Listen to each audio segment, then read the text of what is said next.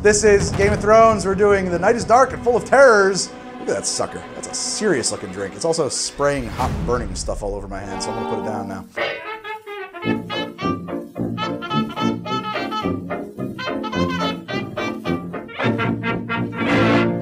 We're gonna keep this one quick. I think we needed a drink called A Night is Dark and Full of Terrors, and it needed to be a terrifying drink. You're gonna need some interesting things here. You're gonna need some rum. I like an El Dorado three year in this drink. Um, I played with it a couple different ways. This is the one that I thought was the best. And you're gonna need these Bittermens, Chocolatal, Zoclatel, Zacalatal, chocolate, chocolate, chocolate mole bitters. And you will need this is um, some cuttlefish ink that I bought, um, and I combined one part cuttlefish ink with two parts water uh, to make a, uh, uh, drink cuttlefish ink.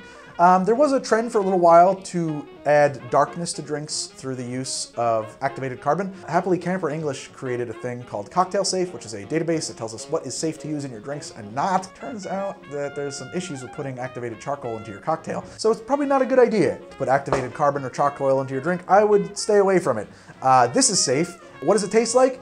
Well, I'm not gonna lie, it doesn't smell great. It smells like a dead fish. Uh, but what does it taste like? It doesn't really taste like much, to be honest, especially in the way that we're gonna use it. It, it kind of just adds a little bit of saline to the drink, which is nice in a lot of drinks. It just sort of helps accentuate existing flavors the same way that a saline solution would. So you can kind of use it interchangeably that way, which is fun. Of course, it's mostly for effect. We're using this because we want the drink to look a certain way. I need a half an ounce of Demerara simple syrup. Uh, and this is nothing more than a simple syrup made from Demerara sugar that is two parts sugar, one part water. I need two to three dashes of these Bittermens chocolate mole uh, bitters. These are lovely. These are a dark chocolatey spicy thing. I personally tend to think that, I mean, a dash is maybe a little less than that, but the, a dash is a lot more than a drop. So these bitters that come with an eyedropper, don't be too shy about it. Of course, you're going to taste. And I need an ounce and a half of my El Dorado three-year rum.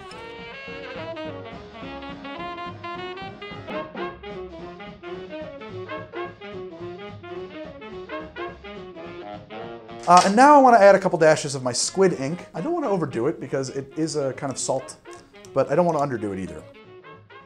Most things might tend to taste the way they smell. This doesn't. When we shake it, actually the smell is going to be brought way down. But for the moment, definitely there's a very uh, Iron Islands vibe going on with it. The other thing too is that you know where you find this in food a lot is in um, in pastas. They make like a cuttlefish or squid ink pasta, those black pastas. That's how they're made.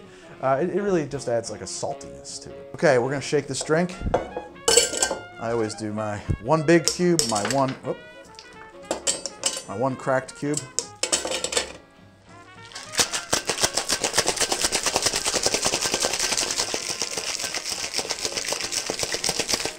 I like the idea of putting it into this glass. Elegant, up, goblety, looks like wealth, but medieval wealth. I like that. This is certainly not an obligation, but if you have it and you really want to go the extra mile with presentation on this one, you could dress this drink up with a bit of dry ice. Um, and I'm gonna do that here because it's gonna look really cool. I, I have to caution you from doing this in any drink you're going to directly hand to a, a guest. Uh, before anybody drinks this, that should be fully evaporated. Uh, there is, it is absolutely unsafe. It is absolutely unsafe. Uh, if you ingest that, you will have to have your stomach amputated. Please don't drink that. But this is a fantasy program. We're here to make pretty pictures. Uh, and so sometimes I make considerations in that direction that otherwise I would not.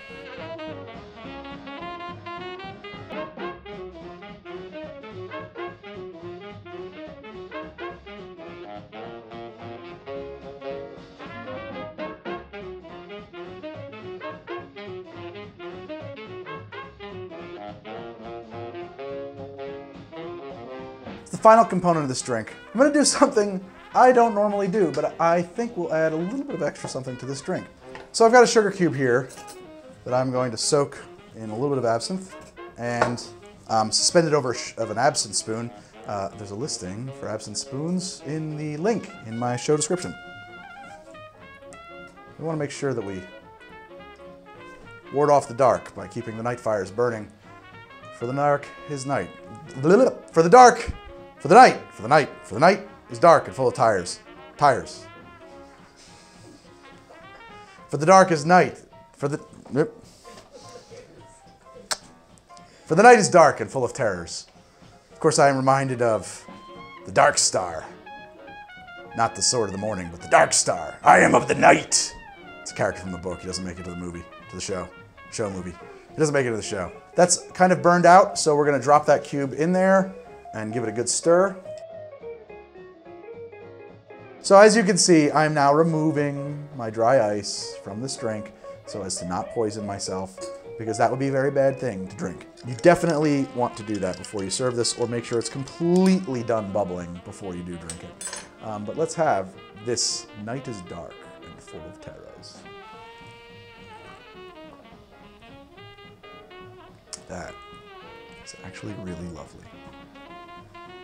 It has a very smooth, round, uh, slightly licorishly, licorice sweetness with that rum kind of fruity funk. And it has a nice long evolution as the absinthe from that sugar cube gives way, takes over.